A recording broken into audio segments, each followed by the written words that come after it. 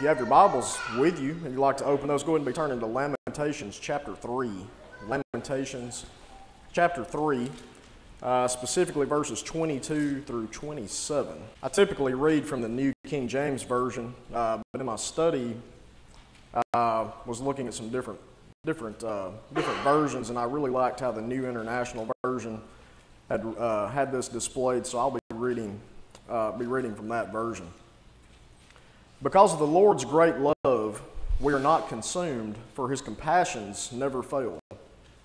They are new every morning. Great is your faithfulness.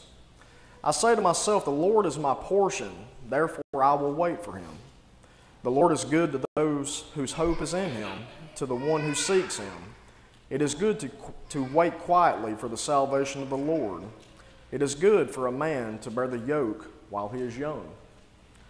Now, I'm not going to break down this entire passage uh, because, as we know, we could probably do several lessons on just these few verses.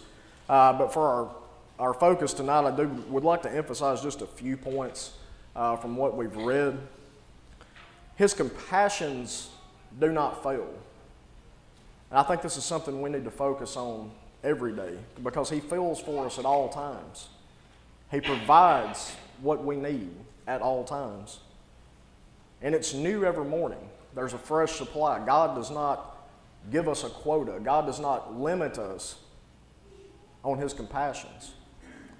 And I've read this probably a dozen times in my life, and I never made the application that just what I just said God does not limit, limit us by His compassions.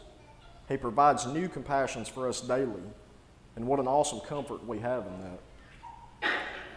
Faithfulness means to be steadfast, reliable, firm. It's one you can depend on at all times in all situations. This is God. This is what He provides for us. Hebrews 13 and verse 8 tells us that God is the same yesterday, today, and forever. God has not, nor will not change. God is always good. His goodness comes to us in His time and not ours. That is something I have struggled with in the past. Probably some of you have as well. We pray for something, we want something, we think we've got to have it now. But as we know, it's in God's time, not ours. Romans 8 and verse 28, we know that for those who love God, all things work together for good. For those who are called according to His purpose. God will always provide what is best for us. Folks, if you don't take anything else, hear anything else I stay, say tonight, hear these next few words. Stop worrying about what you can't control. Give it all to God, and He will provide what is needed in His time. And again, I'm preaching more to me than I am to anybody else because we're all guilty of it. In God's time, not ours. Don't worry about the things that He controls. He's got it. He don't need our help. Finally, God's goodness provided us a Savior. John verse 3 and verse 16, as we all know, for God so loved the world that he gave his only Son, that whoever believed in him should not perish but have everlasting life. Another awesome thought. Another compassion given to us to have that hope of eternity through his Son.